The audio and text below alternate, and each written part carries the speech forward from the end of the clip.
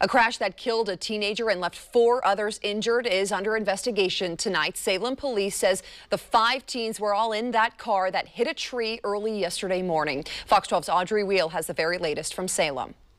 There's now a memorial here with a cross and flowers in honor of the teen who died.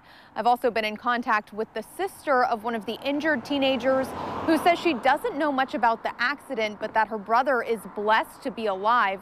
Meanwhile, the people who live nearby say they're still shaken. It was terrible. The pictures are hard to look at, and neighbors say seeing this awful scene in person was even worse. The car was just completely crunched and obliterated. So, I mean, it just, it's heartbreaking.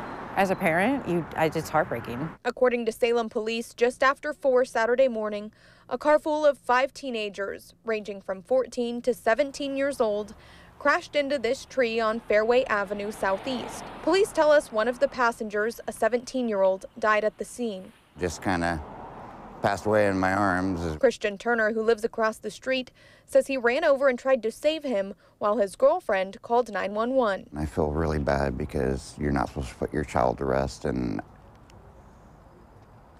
it's kind of heartbreaking to think about doing that. Police say speed is at least one of the factors in this crash and that the four other teens were taken to the hospital with injuries.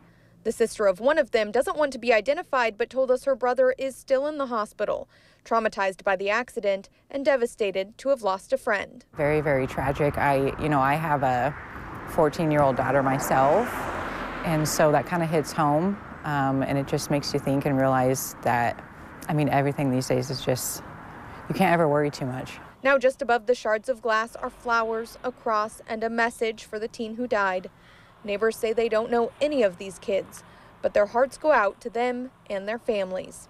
Salem police aren't releasing any more information yet while this investigation is ongoing. In Salem, Audrey Weil, Fox 12 Oregon.